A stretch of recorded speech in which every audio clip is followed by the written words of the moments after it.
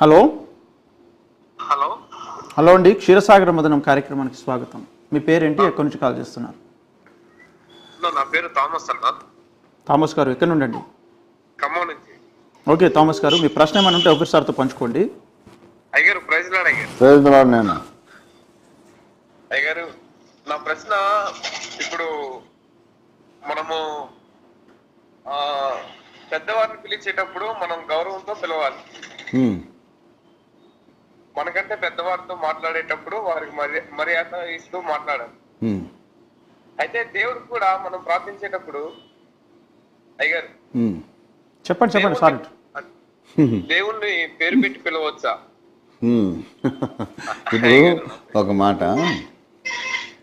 ఏం పేరు అన్నావు బ్రదర్ పేరు ఏం పేరు? దేవుణ్ణి యేసు బ్రదర్ మీ పేరు పేరు చెప్పండి ఒకసారి. థామస్. థామస్. థామస్ బ్రదర్ చెప్పేది వినండి. ఇప్పుడు మన సమకాలీన సమాజంలో మన కాంటెంపరీస్ మనతో పాటు భూమి మీద ఇప్పుడు బ్రతుకుతున్న వాళ్ళలో మనము సంబోధన చేసేటప్పుడు మన సమాన వయస్కుడు అయితే ఏకవచన సంబోధన చేస్తాము. మనకన్నా చిన్నోళ్ళైనా ఏకవచనంలో నువ్వు నువ్వు అంటాము. మనకంటే కొంచెం వయసులో కానీ జ్ఞానంలో కానీ అంతస్తులో స్టేటస్లో గొప్పోళ్ళైన వాళ్ళను మనము మీరు అని పిలుస్తాము బహువచన సంబోధన చేస్తాం. ఇది సమకాలీన సమాజంలో నాతో పాటు భూమి మీద ఇప్పుడు ఉన్నోళ్ళ సంగతి. అయితే తరాలు గడిచిపోయిన తర్వాత కాలం గడిచిపోయిన తర్వాత కొంతమందిని మాత్రం మనం చరిత్రలో మనం గుర్తుపెట్టుకుంటాం. వాళ్ళకు కూడా మనం గారు గీరు అని పెట్టం. ఇప్పుడు అశోక చక్రవర్తి అంటాం. అంతేగాని అశోకుడు గారు అనం అక్బర్ గారు అనం జహంగీర్ గారు అనం ఏనాయనా ఇప్పుడు దావీదు ఉన్నాడు. దావీదు గారు మోషే గారు అనం కదా? మరి ఎందుకు గారు అనడం లేదనంటే? అంటే అయ్యారు అంటే ఇప్పుడు వారిని అంటే మనకన్నా పెద్దవారిని పేరు పెట్టి పిలుస్తున్నప్పుడు వారు వారి ఫీలింగ్ మారుతుంది. నేను చెప్పే జవాబు వినండి మీరు అన్నదానికే నేను చెప్తున్నా. ఇప్పుడు దావీది లాగన్నాడు అబ్రహామి లాగన్నాడు అంటాం లేదా మనం? భక్తులందరూ మరి వాళ్ళు మనకంటే పెద్దోళ్ళ చిన్నోళ్ళ? మరి పెద్దవాళ్ళు అబ్రహాము అబ్రహాము దేవుడు అంటే అబ్రహాము గారి దేవుడు అనం కదా? మరి అప్పుడు తప్పెందుకు కావడం లేదు? ఎందుకు కావడం లేదంటే రెండు వేల ఏళ్ళ క్రిందట జరిగిపోయిన చరిత్ర ఆనాడు బ్రతికిన మనిషిని ఇప్పుడు మనం పదే పదే స్మరించుకోవడమే అతి ఉన్నత గౌరవం.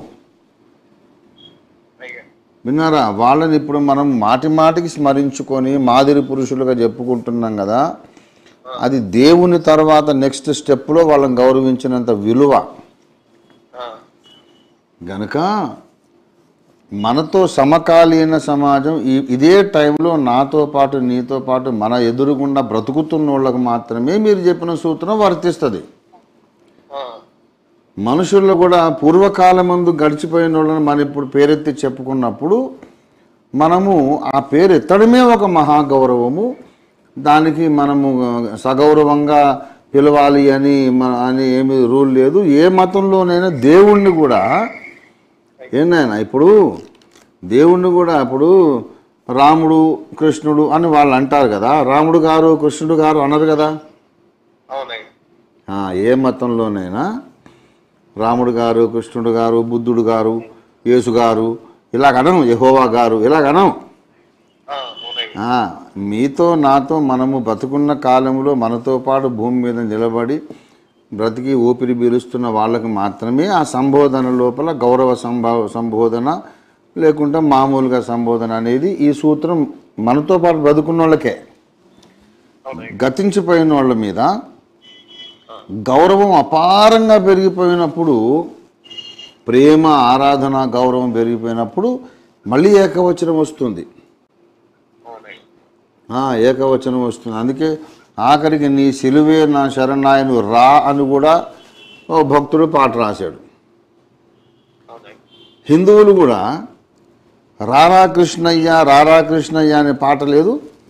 మరి రారా అంటే వాళ్ళు దేవుణ్ణి అవమానించినట్ట కాదు. గౌరవము ఆకాశాన్ని మించి అంతరిక్షాన్ని మించి అపారంగా గౌరవం పెరిగిపోయినప్పుడు కూడా ప్రేమ ఎక్కువైనప్పుడు కూడా రా అని అంటాం. రా అనడంలో కూడా ఎన్నో రకరకాల రాళ్ళు ఉన్నాయి. తృణీకరించినప్పుడు ఒక రా తిట్టినప్పుడు ఒక రా లేకపోతే చాలా ప్రియుడు అనుకున్నప్పుడు ఒక ఒక రా. భగవంతుడి మీద ఆరాధన ఎక్కువైనప్పుడు రా అన్నప్పుడు దానికి అర్థం వేరు మళ్ళీ. కనుక మనం గౌరవంగా గారు గీరు అని పిలవాలి అని అంటే అది మనతో పాటు బ్రతుకున్న మన కాల వ్యక్తులకు మాత్రమే చెందిన సూత్రం. ప్రాచీన కాలంలో బ్రతికిన వాళ్ళను ఒట్టి పేరుతో సంబోధించడమే అది మహా గొప్ప గౌరవం. ఇంకోటి వాళ్ళకు గారు అని పెడితే ఇప్పుడు మనతో బ్రతుకున్న వాళ్ళతో సమానం చేసినట్టు అవుతుంది. ఇంకా అవమానం అది.